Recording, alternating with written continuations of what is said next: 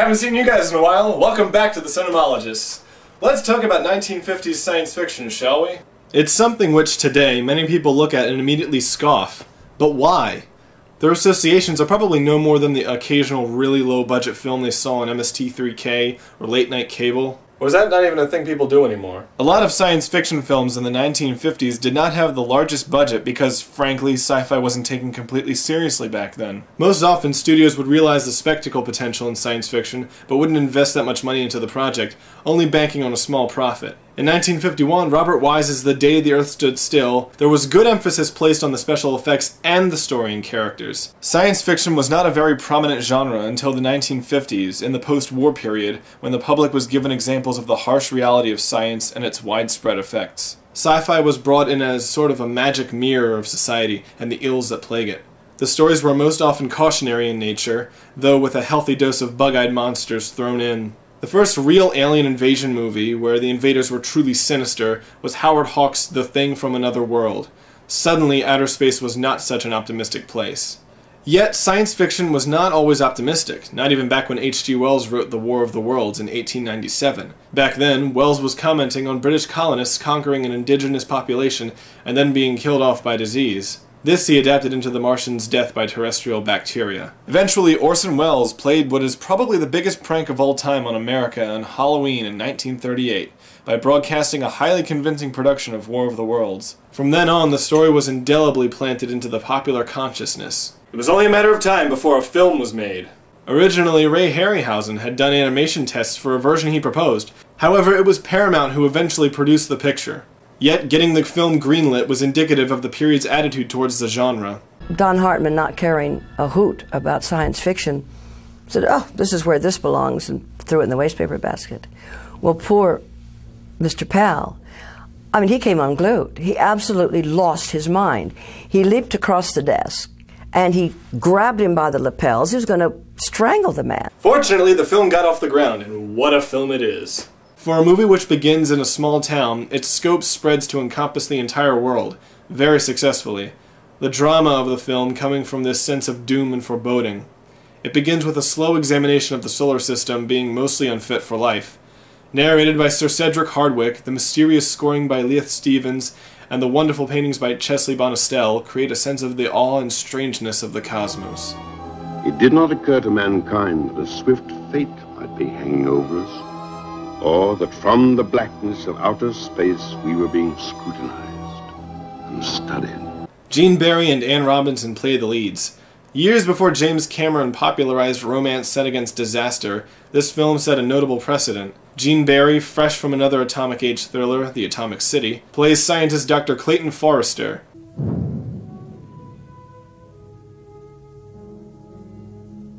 His spouting some scientific dialogue is all he makes of his profession in the movie, but he is quite good as a leading man and is properly desperate later on in the film. In fact, his priorities shift from being excited about the Martians and their technology to risking his life to find Sylvia, which brings us to Anne Robinson. One of the things I most remember about this movie was that she screamed.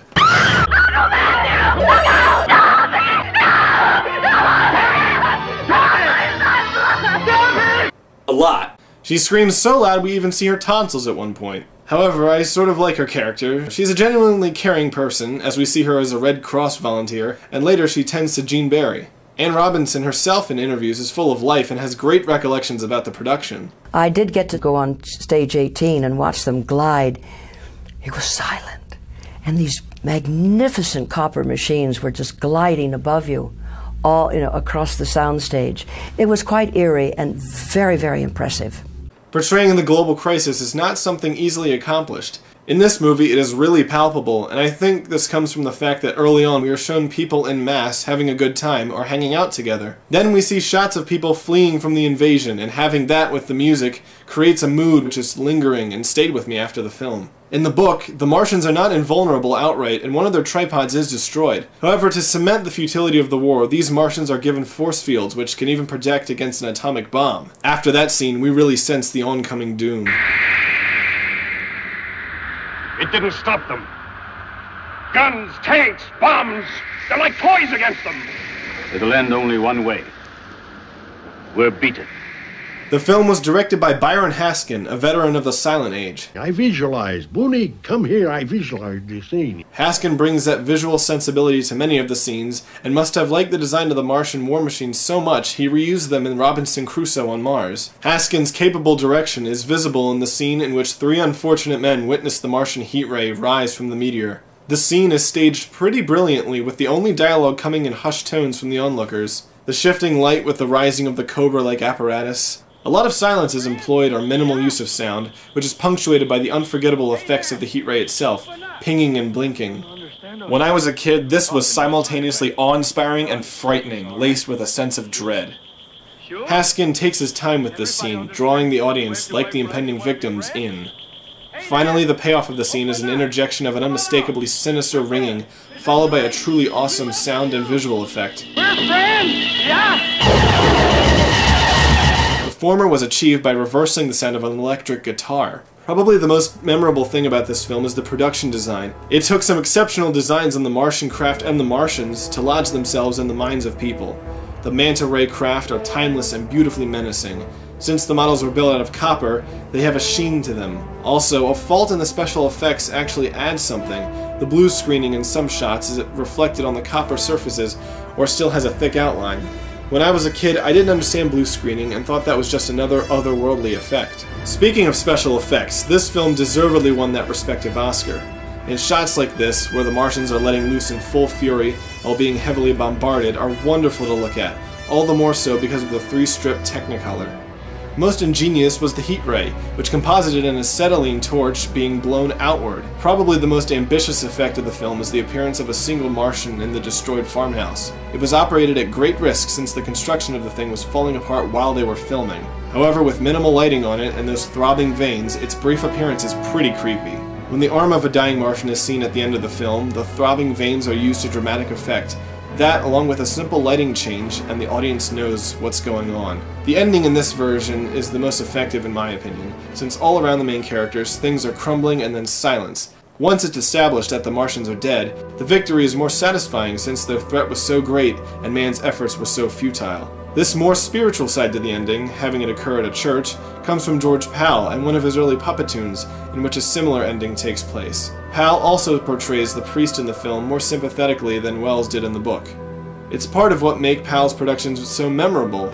They have heart and soul to them, especially this in The Time Machine. In an age full of remakes and reboots, this is one story which I actually think should be remade. The story is naturally timeless and never will go out of style. Its applicability makes it necessary to retell for new generations. These versions often play off of the fears and vulnerabilities of that time. Orson Welles saw how he could exploit and criticize people's taking everything they hear on the radio as fact. George Pal obviously played off of the fear of the Soviet Union invading. The short-lived 1988 TV series, with the aliens revived through toxic sludge and their ability to take over human bodies bodies seemed to come right from the AIDS panic. In 1953, aliens started taking over the world.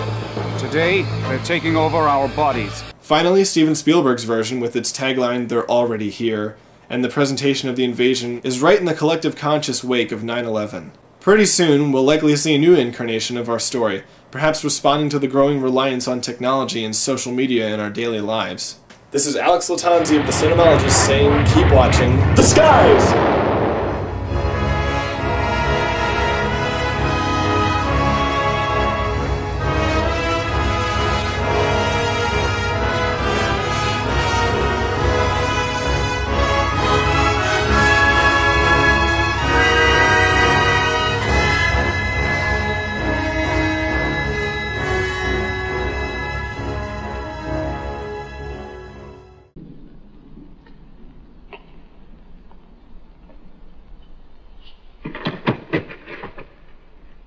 Rutzman! Bilderbeck!